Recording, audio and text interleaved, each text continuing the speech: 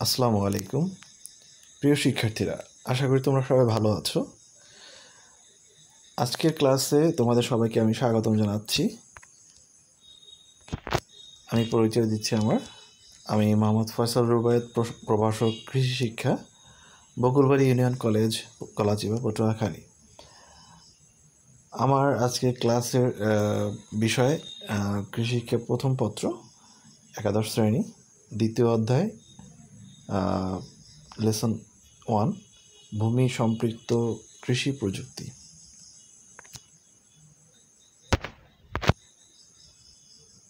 আমরা এখন কিছু ছবি দেখব। প্রথম ছবিতে আমরা দেখতে পাচ্ছি একজন ব্যক্তি দুটি হাতে দুই ধরনের রঙের মাটি নিয়ে পরীক্ষা করছেন। এর পরবর্তী ছবিতে আমরা দেখতে পাচ্ছি বিভিন্ন রঙের একটা চার্ট আছে এবং তার নিচে কিছু নাম্বার দেওয়া আছে। এর পরবর্তী ছবিতে দেখতে পাচ্ছি একটি কিছু মাটির স্যাম্পল নিয়ে এবং তার সাথে কালার চার্টও আছে এবং কিছু কেমিক্যাল মিশিয়ে তাকে পরীক্ষা করা হচ্ছে। এবং সর্বশেষ ছবিতে আমরা দেখতে পাচ্ছি একটি থার্মোমিটার বা যে কোনো একটা ডিজিটাল মিটার টাইপের একটি মিটার মাটিতে পুঁতে পোতা আছে, এগুলো সম্পর্কে আমরা পরবর্তীতে জানব। আপাতত ছবি থেকে আমরা কিছু ধারণা নেব।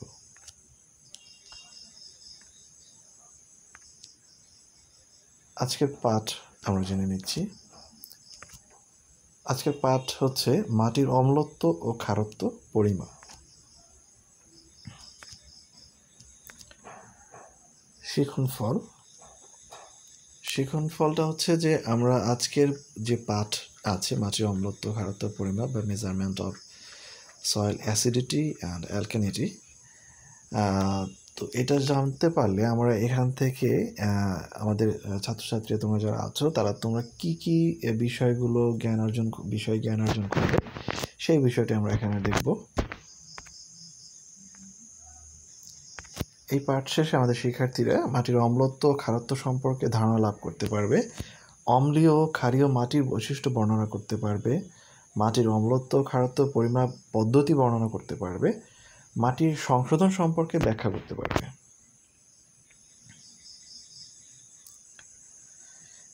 এরপরে আসি আমাদের বিশদ লেকচারে মৃত্তিকা বিক্রিয়া ও মাটির পিএইচ প্রথমে আমি আসি মৃত্তিকা বিক্রিয়া। তার আগেও আমার একটা শব্দ সম্পর্কে না বললে না। মৃত্তিকা। মৃত্তিকা শব্দটির অর্থ হচ্ছে মাটি। তো মাটিতে প্রাকৃতিকভাবেই প্রতিনিয়ত ভৌত, রাসায়নিক ও জৈবিক পরিবর্তন ঘটছে। এই তিন ধরনের পরিবর্তন মোটামুটি আমাদের ধারণা আছে। ছোটো ক্লাস থেকে আমরা জেনে আসছি, ভৌত হচ্ছে যে কোনো গাঠনিক পরিবর্তনগুলো। রাসায়নিক পরিবর্তন মানে তার ভিতর করে যে কোনো ধরনের কেমিক্যাল মানে রসায়নের, অর্থাৎ বিভিন্ন ধরনের রাসায়নিক উপাদান আছে সেগুলো পরিবর্তন হয়ে যাওয়া, কম বা বেশি হওয়া। জৈবিক পরিবর্তন হচ্ছে কিছু জৈব পদার্থের কম, বেশি হওয়া। এই ঘটনাগুলোকে, এই যে পরিবর্তনগুলোকে মাটির বিক্রিয়া বলা হয় বা মৃত্তিকা বিক্রিয়া বলা হয়। মাটির পিএইচ বা অম্লমান মাটির পিএইচ এর আগে আমরা একটু জেনে নিই পিএইচটা কি? পিএইচ এর পি এসছে গ্রিক শব্দ পন্ডাস থেকে, যার অর্থ হচ্ছে ওজন, আর এইচ হচ্ছে হাইড্রোজেন আয়ন এইচ প্লাস মাটিতে হাইড্রোজেন আয়নের ঋণাত্মক লগারিদমকে পিএইচ বলে আসলে মাটিতে না, যে কোনো পিএইচ এর সংখ্যাটাই হচ্ছে হাইড্রোজেন আয়নের ঋণাত্মক লগারিদমকে পিএইচ বলে। অর্থাৎ লগারিদমের পিএইচ এর বিষয়টা অনেকে অবশ্য যারা সায়েন্সের স্টুডেন্ট আছো, তারা বেশ ভালোই জেনে থাকবে। এইট থেকে মোটামুটি ধারণা দেওয়া আছে নাইন টেনে আরও বেশি, তারপরে তো ইলেভেন টুয়েলভ এটার ম্যাথমেটিক্স আছে। আর লগারিদম মানে হচ্ছে লগের যে অঙ্ক করে থাকো নাইন টেনের থেকে শুরু হয়েছে। তো এই হচ্ছে minus log of H plus এটা হচ্ছে পিএইচ এর কোনো একক নেই। পিএইচ এর মানকে স্কেলের সাহায্যে প্রকাশ করা হয়। যেহেতু একক নেই স্কেলের সাহায্যে প্রকাশ করা হয় স্কেলের মান হচ্ছে জিরো থেকে ফোরটিন মানে শূন্য থেকে চোদ্দ পর্যন্ত। এরপরে আমরা আসি মাটির পিএইচ তাহলে কি? যেহেতু শুধু পিএইচ আমরা জেনে রাখলাম মাটির পিএইচ হচ্ছে মৃত্তিকার যে বৈশিষ্ট্য দ্বারা মাটির অম্লত্ব, খারত্ব, নিরপেক্ষতা বোঝায় তাকেই মাটির অম্লমান বলে। অম্লমান হলো মাটির অম্লত্ব ও খারত্ব প্রকাশের একক, যা মাটির পিএইচ নামে পরিচিত। মানে পিএইচটা হচ্ছে এক ধরনের মাটির অম্লত্ব খারাপের একক।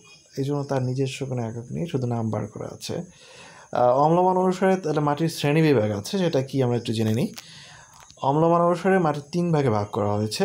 অম্লীয় মাটি, যার পিএইচ হচ্ছে যেহেতু শূন্য থেকে আমি বলেছি, শূন্য থেকে চোদ্দ পর্যন্ত, এই অম্লমান মাটির হচ্ছে সেভেনের কম পিএইচের মান হচ্ছে সেভেনের কম অম্লীয় মাটি। ক্ষারীয় মাটি হচ্ছে পিএইচ সেভেনের বেশি আর নিরপেক্ষ যেটা, সেটা হচ্ছে অম্লমান শুধু সেভেন মানে সেভেনের নিচে হচ্ছে অম্লীয় সেভেনের উপরে হচ্ছে ক্ষারীয়, আর শুধু সেভেন হচ্ছে নিরপেক্ষ বা নিউট্রাল এরপরে আমরা আসি মাটির অম্লত্বটা আসলে কি? অ্যাসিডিটি অফ সয়েল মাটির অম্লত্ব কোনো মাটিতে সক্রিয় হাইড্রোজেন আয়নের পরিমাণ হাইড্রোসিড আয়নের পরিমাণের চেয়ে বেশি যদি থাকে তাহলে সেই মাটিটাকে আমরা অম্লীয় মাটি বলি বা মাটির অম্লত্ব বলা হয়, অবস্থাটাকে অম্লীয় মাটির পিএইচের মান শূন্য থেকে ছয় দশমিক নয়, অর্থাৎ সাতের নিচে থাকে। অম্লীয় মাটির বৈশিষ্ট্য হচ্ছে অম্লীয় মাটির পিএইচ মান সেভেনের নিচে থাকে, এটা আমরা সংজ্ঞা থেকে জেনলাম মাটির রং থাকবে সাধারণত লাল, জৈব পদার্থ সহজে পচে না। অণুজীবের কার্যাবলী কম থাকে, এটা সবাই বৈশিষ্ট্যগুলো ভালো করে খেয়াল করবে এবং অবশ্যই ভালো করে এগুলো মেমোরাইজ করবে। কারণ হচ্ছে খুবই গুরুত্বপূর্ণ বিষয় এবং এর উপরে অনেক কিছু নির্ভর করে যে তুমি একটি অম্লীয় মাটি হলে তার কী কী বৈশিষ্ট্য তোমার জাস্ট একজনে বলল এর মাটিটা অম্লীয়, সাথে সাথে বৈশিষ্ট্যগুলো তোমার মাথায় চলে আসতে হবে। এইভাবে মেমোরাইজ করতে হবে বিষয়গুলো। অণুজীবের কার্যাবলী কম থাকে। অণুজীব বলতে আমরা বোঝাই যে ব্যাকটেরিয়া বা আদার্স যে মাটিতে যেসব অণুজীবগুলো থাকে যাদের অ্যাক্টিভিটিস মাটির জন্য অনেক সময় গুরুত্বপূর্ণ হয়ে থাকে, সেগুলোর কার্যাবলী কম হয়। ক্ষারীয় উপাদান যেমন সোডিয়াম, ক্যালসিয়াম, ম্যাগনেশিয়াম এগুলো কম থাকে। যেহেতু অম্লীয় মাটি ক্ষারীয় উপাদান স্বাভাবিকভাবে কম থাকবে, আয়রন, অ্যালুমিনিয়াম, ম্যাঙ্গানিজের আধিক্য থাকায় মাটিতে বিষাক্ততা সৃষ্টি হয়। অ্যাসিডের সাথে এগুলো থাকেই সাধারণত এই ধাতুগুলো, যার ফলে এর মাটিতে কিছু বিষাক্ততা সৃষ্টি হয়। বোরন জিঙ্ক, কপার ইত্যাদি গৌণ উপাদানের সহজলভ্যতা বাড়ে। এগুলো থাকে বেশি পরিমাণে অ্যাসিডিক সয়েলে। তারপর হচ্ছে কোবাল ফসফরাসের সহজলভ্যতা কম হয়। কোবাল ফসফরাস এগুলো কমে যায় পরিমাণে মাটি থেকে।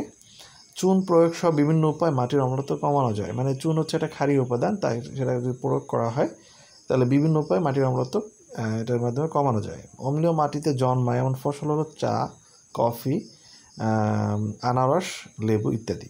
মানে বিভিন্ন যেগুলোতে অ্যাসিডিক টাইপের যে ফ্রুটসগুলো যেমন আনারস আমরা জানি অ্যাসিড আছে, লেবুতে অ্যাসিড আছে, চা কফিতে ক্যাফেইন আছে। এবং আমরা জানি যে পাহাড়ি অঞ্চলের মাটিগুলো, বিশেষ সিলেটের মাটি, এগুলো একটু অ্যাসিডিক হয়ে থাকে এই জন্য এসব এলাকায় চা কফি ভালো হয়ে থাকে।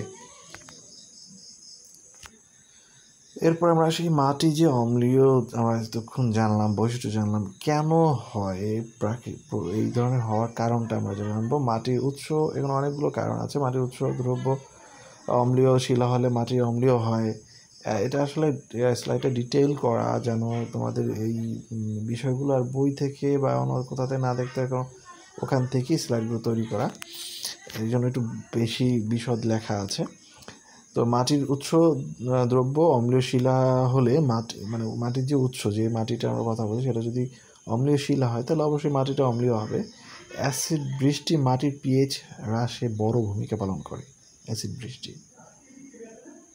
তারপরে অ্যাসিড বৃষ্টির পানিতে পিএইচের প্রায় পাঁচ দশমিক সাত যা অম্লীয় প্রকৃতি। তারপর হচ্ছে গাছের মূলে শ্বসন প্রক্রিয়ার ফলে গাছ থেকে যে নির্গত কার্বন ডাইঅক্সাইড সেগুলো পানির সাথে বিক্রিয়া করে কার্বলিক অ্যাসিড উৎপন্ন করে। তারপর হচ্ছে উদ্ভিদ তাদের নানা ধরনের জৈবিক কার্যাবলীর মাধ্যমে মাটি থেকে আয়ন, শোষণ যেমন nitric, nitrate, ammonium, calcium phosphonium, এগুলো যা করে মাটিতে বিদ্যমান খনিজ পদার্থ আয়নের অসমতা সৃষ্টি করে, ফলে মাটি অম্লীয় প্রকৃতির সৃষ্টি হয়। রাসায়নিক সারের প্রয়োগের ফলে মাটির পিএইচ পরিবর্তন হয়। কারণ সারের মধ্যে বিভিন্ন ধরনের উপাদান থাকে যেগুলো পানির সাথে বিক্রিয়া করে অ্যাসিড উৎপন্ন করে। মাটিতে চুন ব্যবহার করা না হলে মাটি অম্লীয় হয়।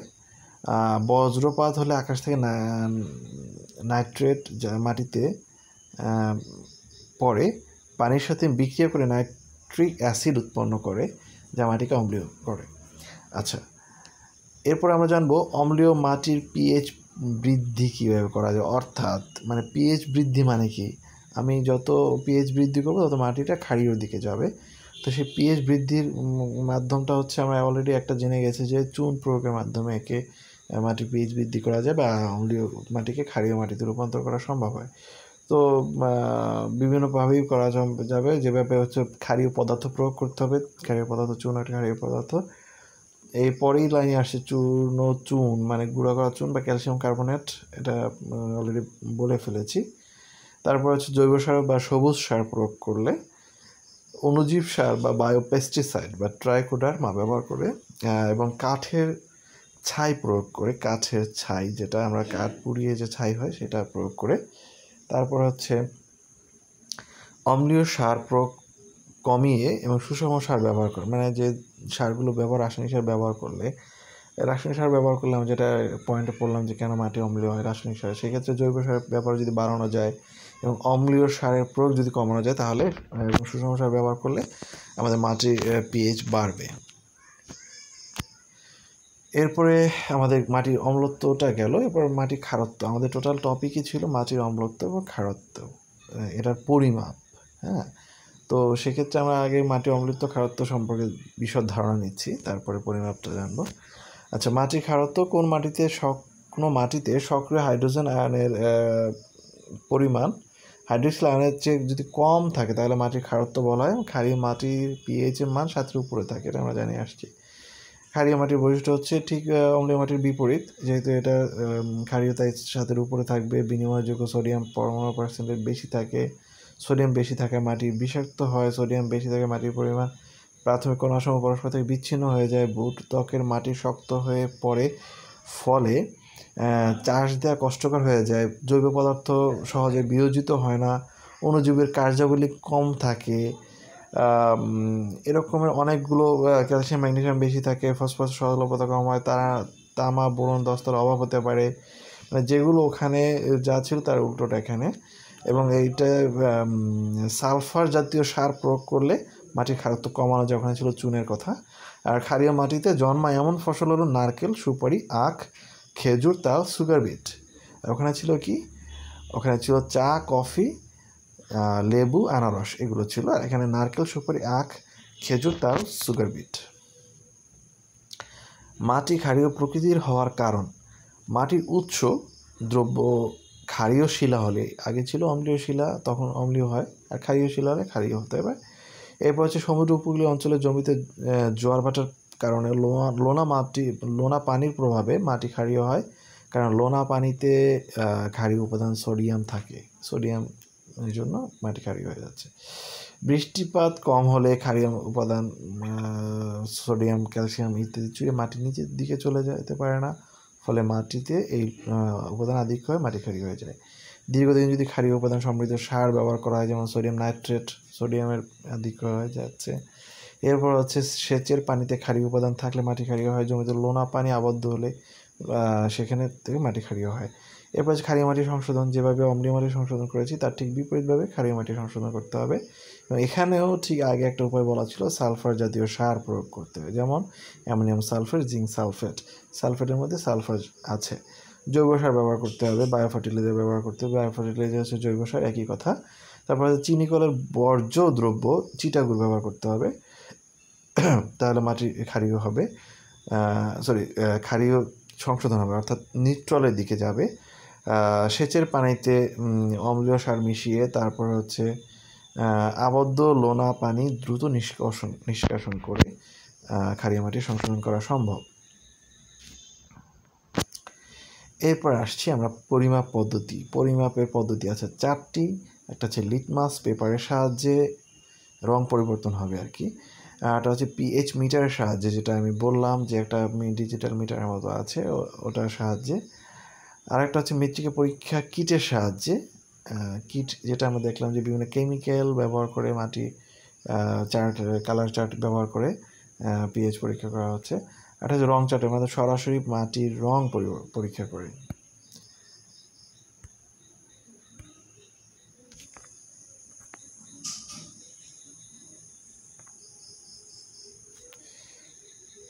মাটির অম্লত্ব খারাত্বের মধ্যে পার্থক্যগুলো। চিহ্নিত করতে হবে। এটা হচ্ছে জোড়ায় কাজ।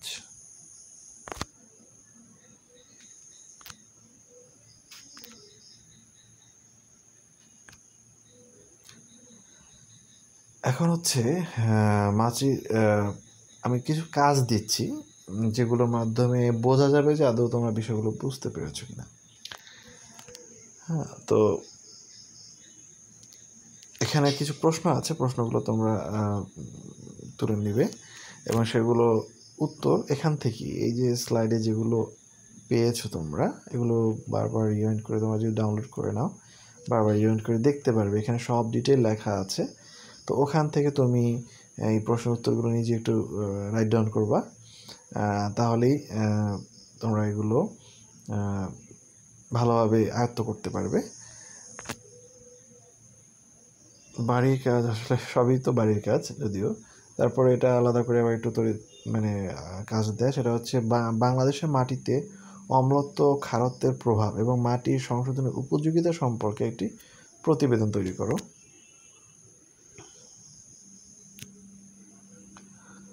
তো এই পর্যন্তই ছিল আমাদের আজকের ক্লাস, মাটির অম্লত্ব খারত্বের পরিমাপ। তো আমরা আবার একটু যদি চিন্তা করি যে আমরা প্রথম দেখেছিলাম কিছু ছবি সেখানে রঙের মাধ্যমে পরীক্ষা করা হচ্ছিল কেমিক্যালের মাধ্যমে এবং পিএইচ মিটারের সাহায্যে পরীক্ষা করা হচ্ছিল। তো পরে আমরা জানলাম যে পিএইচ কি, মাটি বিক্রিয়া কি এবং সেখান থেকে মাটির পিএইচের মান কি কি হয়, শূন্য থেকে চোদ্দ পর্যন্ত পিএইচ সেটাও তো অবশ্য আমরা জেনে নিয়েছি আগেই। তারপরে শূন্য থেকে চোদ্দ পর্যন্ত মান হয় তারপরে অম্লীয় মান হয় সাতের নিচে ক্ষারীয় মান হয় সাতের উপরে নিউট্রাল হয় সাত তারপরে অম্লীয় মাটি কেন হয়? অম্লীয় মাটি হওয়ার কারণগুলো এবং সেখান থেকে সংশোধন হওয়ার পদ্ধতিগুলো, সেখানে কী কী ফসল ভালো হয়, বৈশিষ্ট্যগুলো কী, এগুলো আমরা সব কিছু জেনেছি। তারপরে পরিমাপ করা হয় চারটি উপায়ে। একটা হচ্ছে লিটমাস পেপার যেটা কালার চেঞ্জ করে ফেলে। আর একটা হচ্ছে পিএইচ মিটারের সাহায্যে। আর একটা হচ্ছে পরীক্ষা কিট আছে কিট মানে বিভিন্ন যন্ত্রপাতি আছে কেমিক্যাল আছে, সেগুলোর মাধ্যমে, আর একটা হচ্ছে কালার চার্টের মাধ্যমে। তো এগুলো আমরা একটু ভালোভাবে বারবার দেখলে আমরা আশা করি বুঝতে পারব। তারপরে যদি কিছু না বোঝা থাকে, তো এই ভিডিওটা আপলোড করা থাকবে। আমাদের কলেজের পেজ আছে ফেসবুক পেজ বকুলবাড়ি ইউনিয়ন কলেজের নামে। সেখানে পাবে এবং ইউটিউবে আমাদের যেখানে আপলোড করা আছে, সেখানে কমেন্টের মাধ্যমে জানাবে। যদি কোনো সমস্যা থাকে সেখানে কমেন্ট করে জানাতে পারো অথবা সরাসরি ফোনে জিজ্ঞেস করতে পারো। আর অবশ্যই আবারও আমি সবার মতোই সতর্ক করে দিচ্ছি আর একবার যে, প্রয়োজনের ছাড়া মানে প্রয়োজন ছাড়া তোমাদের বাইরে বের হওয়ার দরকার নেই, একদমই দরকার নেই।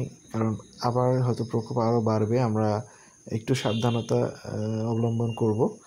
যেহেতু এখন পর্যন্ত স্কুল, কলেজ খুলছে না, অবশ্যই এটা কোনো ভালো হচ্ছে না। তারপরেও এত কিছু পরে খুলছে না, অবশ্যই সমস্যা রয়েছে এখনও সুতরাং তোমরা অবশ্যই প্রয়োজন ছাড়া কেউ বাসার বাইরে যাবে না। গেলে অবশ্যই মাস্ক ব্যবহার করবে হ্যান্ড স্যানিটাইজার সাথে নিয়ে যাবে, বাসাতে ফিরে ফ্রেশ হবে, কারোর সাথে মানে টাচে আসার আগে ভালোভাবে ফ্রেশ হয়ে নিবে। তো এই ছিল আজকের মতো। সবাইকে ধন্যবাদ। ভালো থাকো সবাই। আল্লাহ হাফেজ।